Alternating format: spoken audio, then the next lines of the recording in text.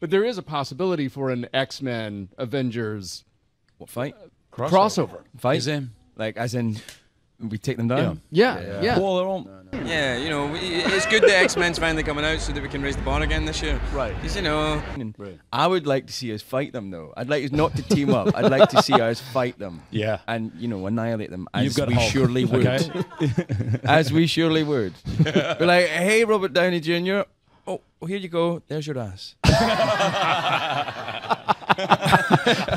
so I've got a bunch of asses in my hand. I, I think they belong to you, Avengers. You know? there's like 40 of us. And Sheer like numbers. five of them.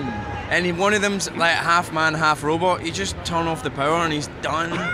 and then another one's a guy with a shield who's a bit strong. I mean, come on. And then there's another. Who's the other one? The guy with the bow and arrow.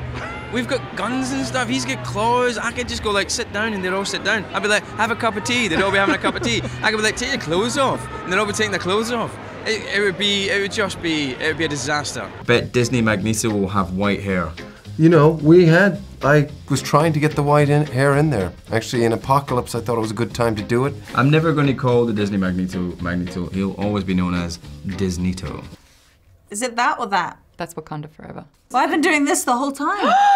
Well, that's okay because Maybe it means that Wakanda I'll, forever we'll be in Black Panther next. This was dark. You sure you're not from DC Universe?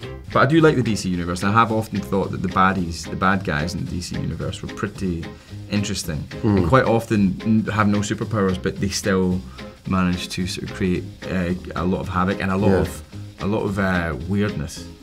If you could team up with anyone else in the MCU, who would it be and why? Oh, Brother Hammer. Brother Hammer. Thor.